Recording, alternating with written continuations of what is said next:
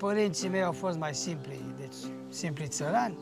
Tatăl meu a fost, a rămas sor din al doilea război mondial, așa când era, și am fost 8 copii toți. Și am crescut mai mult de, la, de pe urma mamei, deci și noi cum ne-am mai răsărit, ne duceam tot așa cu munca. De asta zic, munca pentru mine nu e un secret. E chiar e o artă pentru mine. Din asta supraviețuiesc. Și nu mi-a fost rușine și deci am muncit de mic copil. Din primul an, deci m-am făcut remarcat prin faptul că uh, îmi plăcea. Îmi plăcea. Și mi-am dat atunci seama de un lucru, mă zic, bogăția cetății astea, zic, nu e în ceea ce se vede, zic, sub pământ trebuie să fie.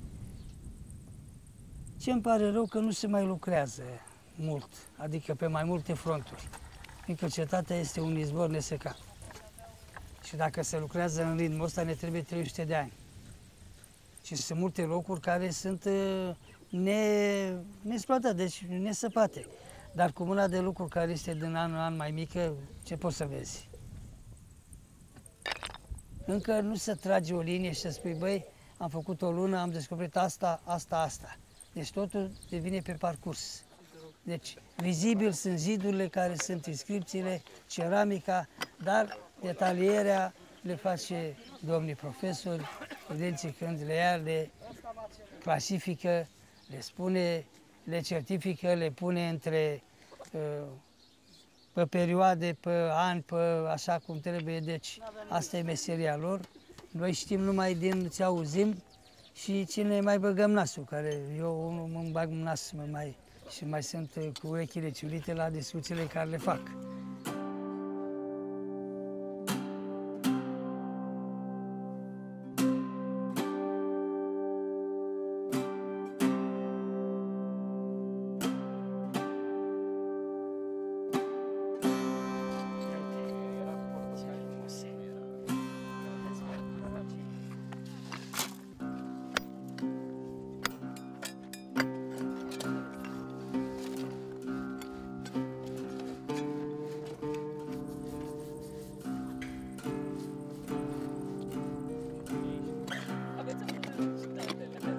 Pare rău și acum că dacă eu trebuie să stau acolo, eu sunt liniștit când pleacă toți, să știu că nu mai lucrează nimeni și nu mai sapă nimeni acolo.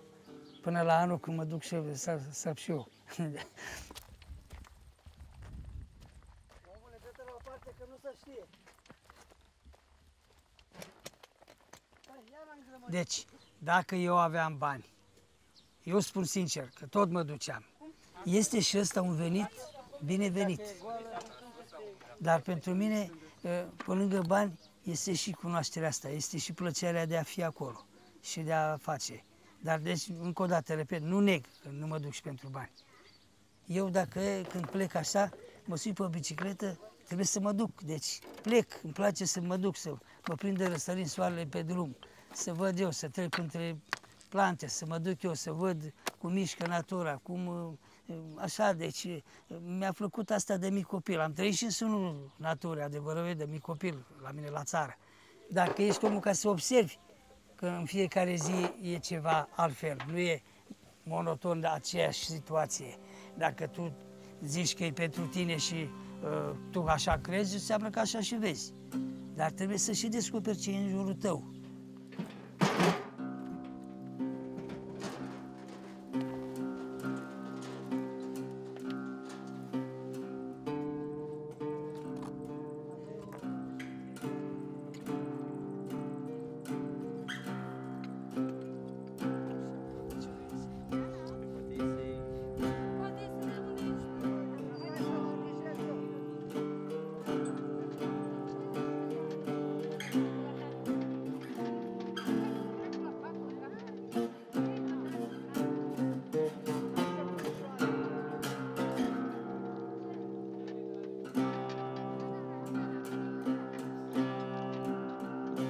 Acum de câțiva ani nu prea mai este așa, deci nu mai e aceeași armonie, nu se mai lucrează, deci nu se lucrează efectiv, dar nu mai e ce a fost odată. Deci nu sunt eu așa chiar uh, melancolic să zic, dar uh, ceva s-a schimbat de câțiva ani, nu mai e cum, cum era. Deci asta e problema. și cu descoperirile, deci uh, nu că m-am blazat, dar uh, pe mine acum uh, mai sunt ceramic astea. Știu că pentru ei foarte, mai ales pentru studenți care n-au văzut de primul an, știe așa, nu știu ce, dar pe mine la atâția ani de zile, de ce al 16 an, parcă nu mă mai interesează, vreau ceva mai colosal, deci mai, cum e inscripție, cum e un zid așa bun. Știu că face parte și orice fragment, știu, dar pe mine nu mă mulțumește numai ăla. Eu sunt, deci asta mă, mă să fac mai mult, să, să cunosc mai multe.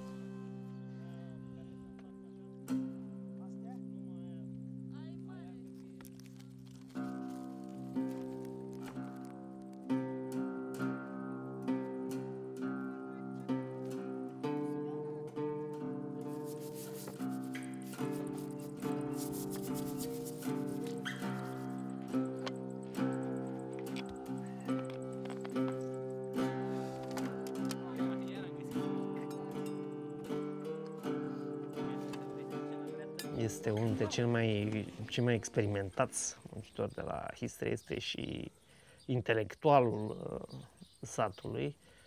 În 2009 am reușit să dăm peste o zonă neafectată. Și am găsit un vas mare, care s-a dovedit apoi a fi un crater, un vas din, uh, din care se lua și se servea vinul la banchete. Și deci am găsit un crater pictat uh, arhaic, spart în mai multe, mai multe fragmente și l-am rugat pe Neadiniță, i-am dat pe toți afară, i-am spus, Neadiniță, te ocup de asta, te rog, sapă dumnezește.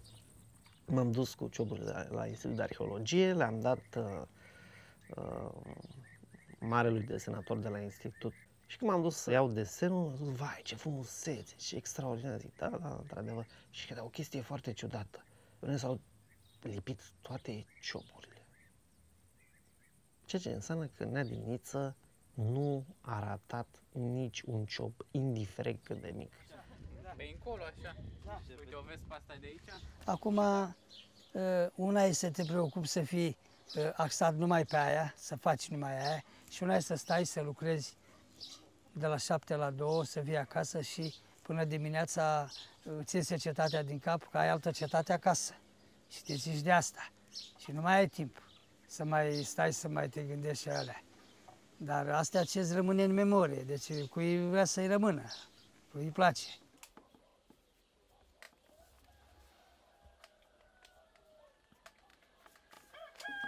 Eu inițial am vrut să iau casă în Corbu, dar n-am reușit. Când începuse, eu m-am, m-am hotărât foarte greu. Dar până la urmă, împrejurile care m-au forțat, n-am avut încotro și am început din Corbu. Na, nu mergea, zic, acolo era mai scump, era mai aproape de oraș și nu știu ce. Mama zic, hai să o luăm la altă comună. Am mers în Stăcele. Acolo era problema cu apă, că e mai mult carieră de piatră, nu merge. Hai la Istiu aici. Aici am găsit o casă asta cu 5 milioane. Mai rămânea două. Mă zic, cu două era 300 de mii un congelator atunci. Bă, zic, aici e de noi, hai să mergem așa. Și uite așa am ajuns la aici.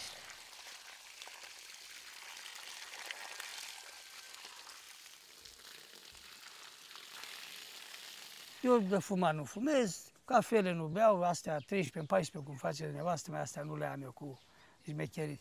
Și din curte de aici, viam, erau ani buni că se făceau. Deci eu acum, cu fructe, cu prune, cu curcodușe, pe la mine mergeau cazanele aici, nu era problemă. Și tot așa până Asta e un, nu un jargon, un argou, ceva. Uh, între noi, deci să nu spunem bețivi, dar consumator de alcool, na, să zicem mai, mai modern, știi? și era problema că se mai bea spirit. Eu n-am băut, deci, adică n-am băut fiindcă aveam ce să beau. Probabil că dacă n-aveam nici nimic, nici bani, poate beam și eu spirit, nu pot să zici. Dar sunt unii care beau spirit. Și de aici jargonul ăsta, știi? Că unii spune adio mamă, uh, așa la spirit, uh, cocofichii, cocofrichii, deci felul de astea. Deci la cetate tot și profesorul știa că eu aveam la mine, aveam întotdeauna alcool, deci mai beam. Acum, ultimii ani nu prea am mai rărit-o, că nu prea beau. Și în sfârșit nu mai am, deci aveam și garda veche care și ei beau. Acum n-am cu cine, beau cu puștii ăștia de 14-15 ani, n-am ce să fac cu ăștia. Și așa că nu, de unul singur nu merge băutura, n-ai cum.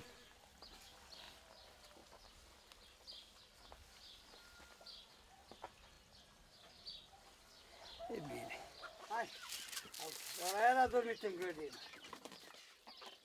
Hai. Eu văd de treabă singur.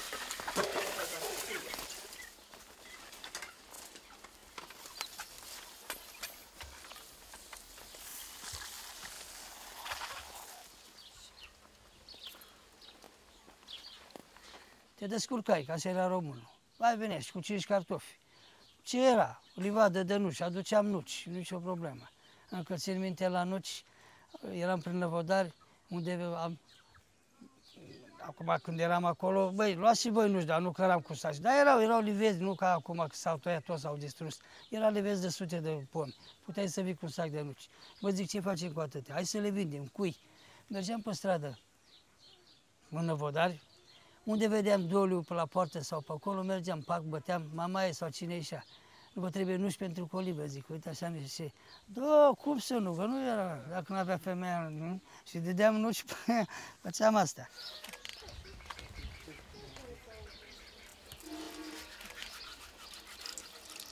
Sper eu că până împlinit 75 de ani mi-ajunge. Eu de mic copil, de la mama de acasă, cu asta am crescut. Mi-a spălat și pe mâini și pe cap. Dacă făceam ceva la cap, rămânea în chel, dar văd că deocamdată am, mai am ceva. Mă zic, nu reușesc să-mi iau și o bicicletă. Și aveam niște oameni aici care tot așa au cumpărat niște teren și avea vie multă. Și tot așa, au auzit că eu mă pricep și nu știu ce. Și mă, nene, uite, vii și ăla și îți plătim nu știu ce. Mă zic, gata, zic, acum m-am hotărât, nene, zic, uite, facem socoteala, dar îmi cumperi o bicicletă nouă. Bine, nene. Și mi-a luat de la Tulcea o bicicletă, mi-a venit cu mașina, mi-a adus-o.